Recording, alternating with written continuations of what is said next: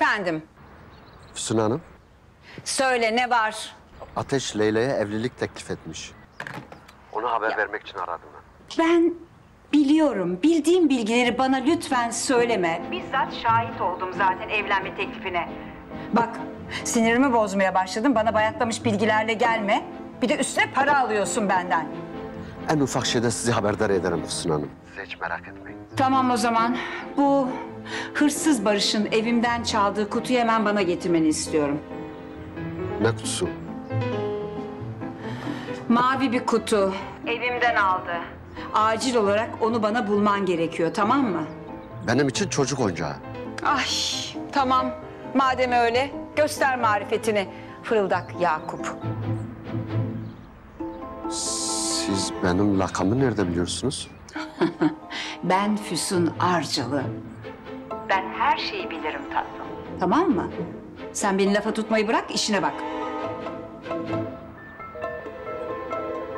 Siz kiminle dans ediyorsunuz be? Sizi deli edeceğim deli.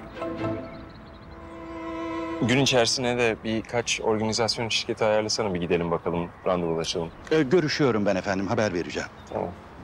Burada İlter, eee, yani ailedensin zaten. Hani kabul edersen nikah şahidim sen ol istiyorum. Efendim teşekkür ederim. Bu benim için çok büyük bir mutluluk ve şeref tabii ki. Teşekkür ederim. Yani o nedenle davetlilerle sen ilgilenirsen tatlı olur.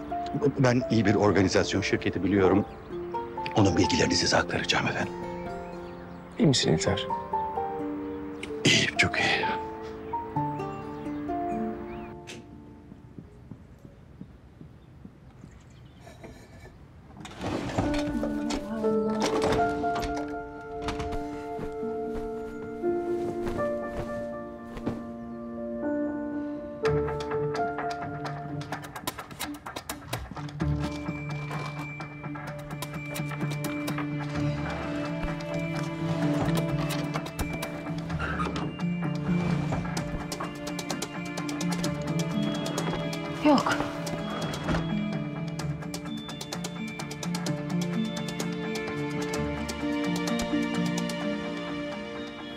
Kesin Yakup aldı.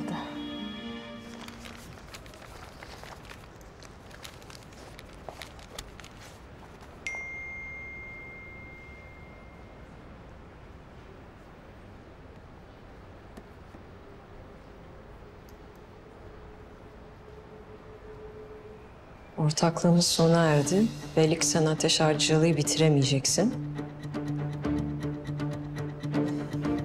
Belge ve delilleri yok et lütfen.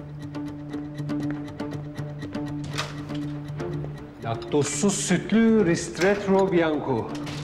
Bir bige spesiyali. Sendin demek. Ben miydim? Konu neydi? Ah nasıl aklıma gelmedi benim. Ateş yine haklı çıktı. Zaten ya sen ya Füsun olacaktı. Bir gece. Neden bahsediyorsun? Şirketteki kara koyun sendin. Kumaşlarımı sen yok ettin. Sen nereden öğrendin bunu? Böyle kirli işlere bulaşacaksan biraz daha dikkatli olmalısın.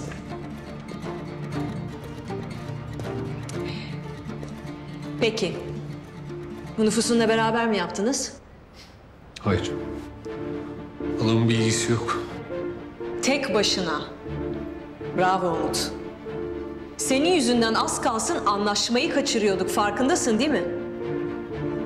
Bak anlamıyorum senin, benim, ailenin, bizim ne kadar çok emeğimiz var burada. Sen nasıl bu kadar düşüncesiz ve çıkarcı davranabilirsin ki? Çıkarcı mı? Öyle mi? Evet, E sana anlatayım ben biraz o zaman nasıl çıkarcı olduğumu. Ha? Bige. Sen niye ateşi seçtin? bununla ne alakası var? Bununla çok alakası var Bige. Sen niye ateşi seçtin? Niye diğer her şey, benim sevdiğim herkes ateşi seçti? Niye benim sevdiğim her şey ateş sahip? Annemin babamın sevgisi de buna dahil. O şımarık pek farkında değil. Babamın onu sevmediğini söyleyip duruyor ama o iş öyle değil. Babam onu çok sevdiği için bunca yıldır üstüne gidiyordu. Babam bu şirkete her şeyi ateşe onu sevmediği için mi emanet etti? O iş öyle değil Bige. Bu hikayenin sevilmeyen çocuğu benim. Sen babanın onayını almak için yaşamak ne demek biliyor musun? Bilmiyorsun değil mi? Ben biliyorum. Ben bunun için yaşadım. Ben bununla doğdum. Babam beni sevsin diye, babam beni onaylasın diye onun her istediğini yaptım. Annemin akıl sağlığının yerinde olmadığını söyledim. Evet söyledim. Babam istiyordu çünkü. Ama ne oldu bunlar bana hiçbir şey kazandırmadı. Ben kötü olduğumda kaldım. Ama artık yeter. Benim hiçbir şey kaybetmeye tahammülüm kalmadı bir kere. Anlıyor musun? O yüzden sonuna kadar gitmem gerekiyorsa sonuna kadar gideceğim. Kimse kusura bakmasın. Son zamanlarda seninle böyle biraz umut ışığı olur gibiydi. Ama evet, görüyorum ki artık o da yok. Şimdi istersen ateşe gidip her şeyi söyleyebilirsin. Gerçekten hiç umurumda değil.